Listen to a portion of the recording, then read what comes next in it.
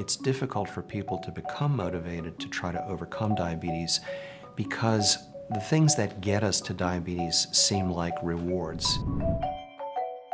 To me, there's no more sobering fact about diabetes than the World Health Organization's announcement in the mid-2000s that the current generation of children would be the first in the Western world likely to not live longer than their parents because of the increasing prevalence of obesity and diabetes-related obesity. So clearly, our lifestyle has brought about a catastrophic change for our society.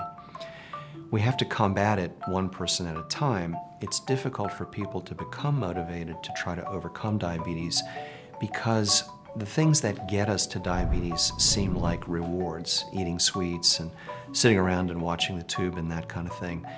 When I try to motivate somebody to overcome diabetes, the main thing that I try to encourage in them is change in their thinking about what is really a reward in their life.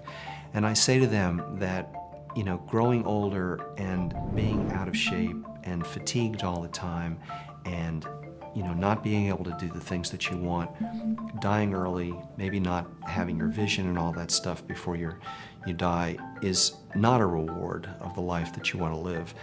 A reward is being able to do everything that you want until late in life, enjoying the activities of your grandchildren and all that sort of thing. And the best way to get there is to change your lifestyle, stay healthy, keep your diabetes under control.